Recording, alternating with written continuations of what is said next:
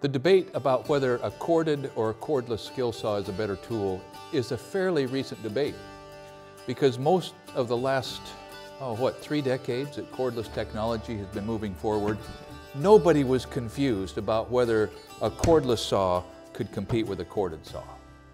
They were just completely different animals, completely different capability, and nobody even gave a thought as to whether or not you should actually try production framing with a cordless skill saw. But it's a new world. Cordless technology has come a long, long ways.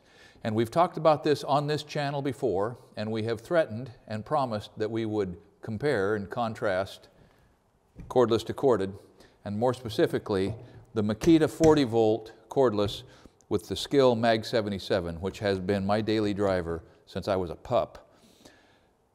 Now, having said and pointed out that I have years, decades of experience and appreciation with the Skil worm drive, you've got to assume, and you're already thinking, well, Wadsworth, you're a dinosaur. Um, your confirmation bias is going to make your conclusion inescapable. And I don't know if we should even listen, and you might be right. But Makita sent this to us free of charge because it came to their attention that we didn't have one, and that's why we hadn't reviewed it like we did the Skil cordless skill saw. And so they sent us one, and about a year ago, actually not quite a year ago, I started using this when it was time to start framing this little shop. So I've come this far using both of them. Probably 70% of the time this one, so I would have something coherent to say today. So as I get ready to download on you what it is that I figured out about these, I want, you, I want to tell you right up front that I have reached a conclusion about this, and I'm ready to defend it, and I think it's correct. So let me go through the criteria that I think pertain to this discussion, and then I'll let you know what I think, and I expect in the comments you will let me know what you think. The first thing is, these two saws are made for the same jobs. They are made to accomplish the same purpose. Rough work, you know, reasonably fine work, but they both are intended and can be used for setting forms, for framing, for rough framing, for bridge work if you have to, for stacking, for sheathing, for siding, you know, exterior trim. These things are coming to the table intending to compete head to head for the work that's going on by people like me and maybe by people like you. So we're not going to be copping out and saying, well, this one's made for that and this one's made for that. We're going to be talking about how they stack up on the same jobs.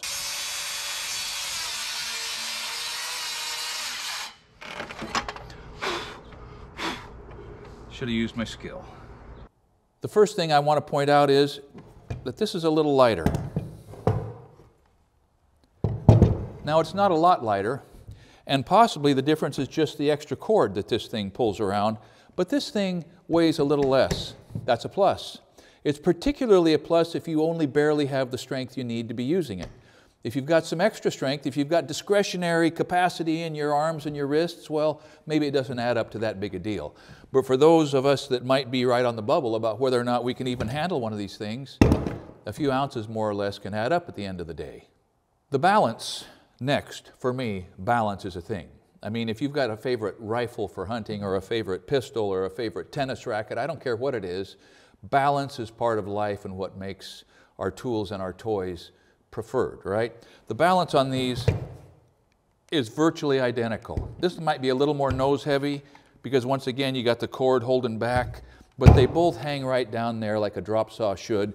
And so I'm going to say there's no significant difference in the way that they drop into the battle position.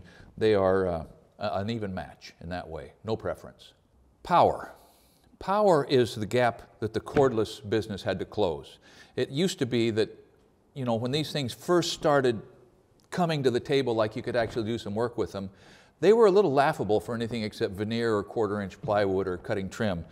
But now the power is, I mean, it's within just a little bit but the power is a little different. I mean, in a straight pull on similar boards, you know, green Doug fir, I will say southern yellow pine for you pine appreciators, or any of the standard softwood framing members, you seldom think to yourself, huh, it pooped out. Now occasionally, like if you're ripping, if you're cutting two or three pieces of plywood stacked up, and you get any lateral movement between the sheets, so you're putting more friction on the side of the blade, as sometimes happens, The cordless can't do it. The cordless really drags if you get load on the side or a timber bound board pinching down.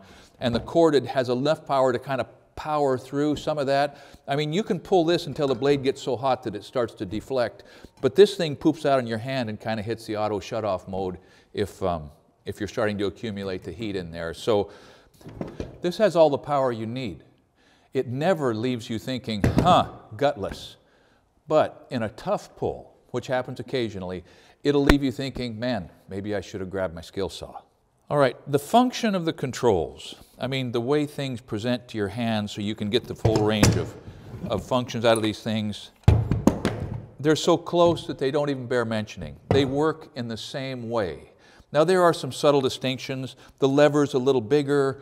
The, the 56 degree angle, I think it'll go to, yeah, 53, 53 or 56. It goes a long ways. It's got presets. This does too. There's not a dime's worth of difference in how these things function with the table. There, and as far as the skyhook, there might be a dime's worth of difference. I was skeptical about the, just the sheer size of that, about whether or not it would get a hold of the top of a, of a joist or a 2 by 12 rafter but it does. It hooks and it hangs, and it's big enough that it's a better handle. See, that's a handle for climbing, so you can grab a vertical piece and climb on up the wall, hanging onto the skyhook. This one's not really, kind of. So skyhook wins, skyhook's fine. In general, the location of the saw wrench, identical.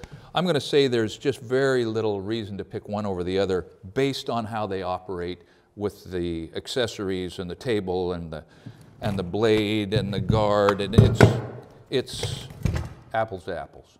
Next item, toughness, durability. And I can't quite speak to that because I've only got a few months on this. I mean, I haven't run this to exhaustion. It hasn't taken any hard falls. I've been careful. But my impression is that this is tougher. This just feels a little lighter because it is a little lighter. There's more plastic.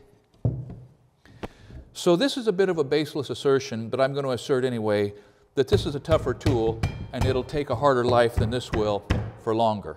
Take that with a grain of salt. I can't back it up, but it's my impression. All right, this next broad general category I lumped all at once, and I'm calling it convenience, safety, and satisfaction to use. Um, convenience, clear winner most of the time, or at least part of the time. It is nice to be able to roll onto a job, open your toolbox, grab a saw, walk across the yard, walk across the field, put it in a backpack, I don't care. You can go a long ways, forget the, the extension cord and do some work. That's convenient. On the minus side of the ledger, that button right there, that safety button, is not convenient if you're cutting out of position or sometimes if you're hanging out on a ladder. Not only is it not convenient, but sometimes it's just not safe because of what it obligates you to do with another hand. So the safety feature of having the lockout sometimes works against safety, at least compared to what I'm used to. There's a soft start feature on this, and that is you pull the trigger for just a second, part of a second, and then it starts up a little bit slow. I think that's probably safer. It reduces the likelihood of kickback, but it also builds in a little lag time for a guy like me who's used to an instantaneous start and instead gets a soft start. So that's just personal adjustment, probably safer on balance, um, coupled with being lighter but not too light. I would say safety probably goes to this. But let's drill down just a little further.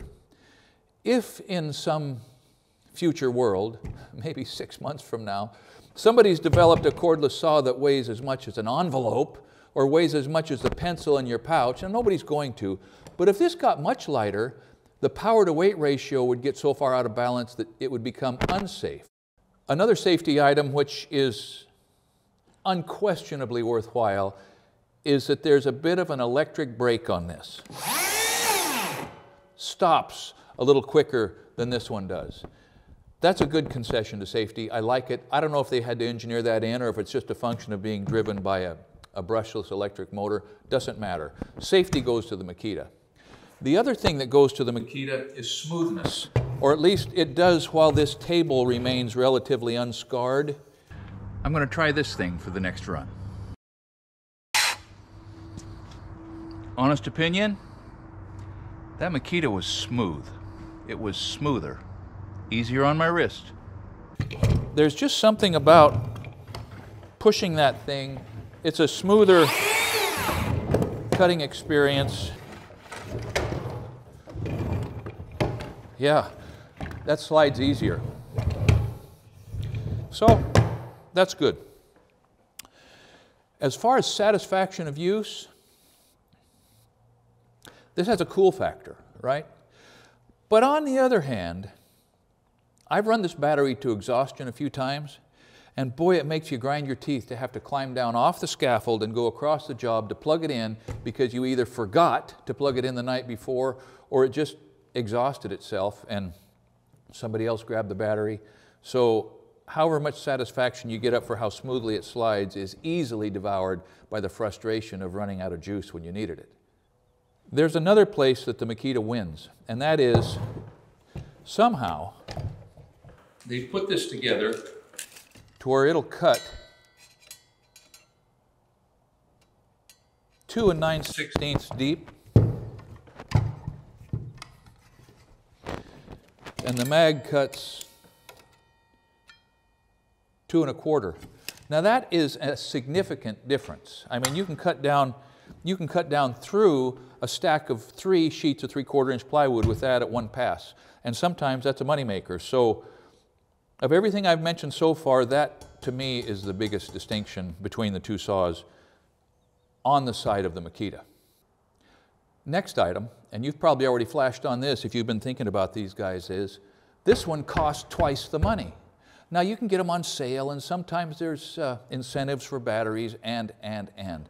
But this one costs roughly twice the money that this one costs. And not only that, but after you break this one or it gets rained on or you know, who knows? Somebody can steal this out of back of your truck because they're not dragging a cord and you've got to replace it once or twice. Or let's just look forward to the day when Makita, bless their heart, and I love teal blue, changes the battery platform. I mean, they have to do that in the arms race that is cordless technology.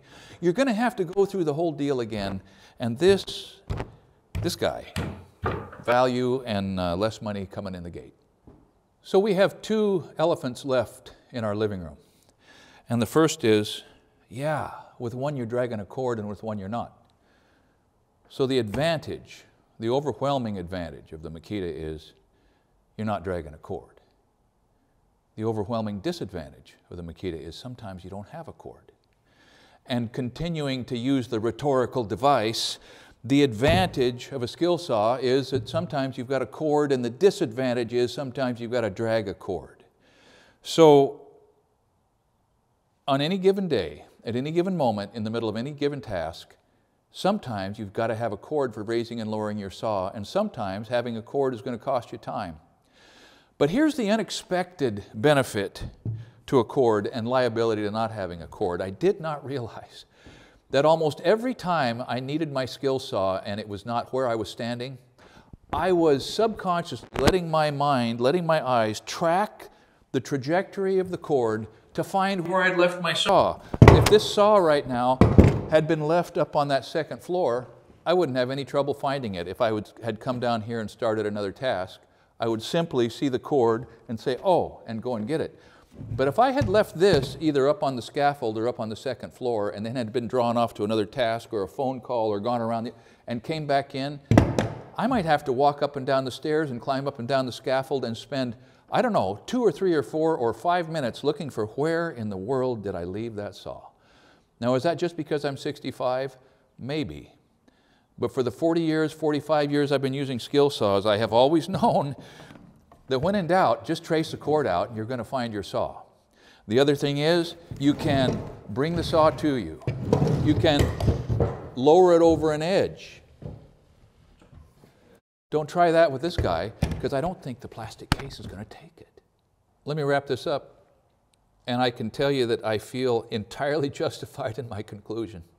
First of all, I'm always going to carry both these saws and I'll probably use this 80% of the time because boy, it is convenient and it will do almost everything. But I'm never going to be caught without my Skil because there are some things that only this will do to my satisfaction or to the satisfaction of anybody that's ever run one. Now, given that, given that I'll probably use this saw more hours a week than I'll use this saw, if I had to pick just one, if it was only one saw that I could afford or one saw that I could take, or if I was going with Lewis and Clark and I could only bring one skill saw with me to the Pacific, it would be this one. And I will tell you why. A skill saw with a 40 or a 50 foot cord on it is going to put more money in your pocket at the end of the year or at the end of the decade than this beautiful, convenient, smooth, shiny, cordless wonder. Thanks for watching Essential Craftsman and keep up the good work.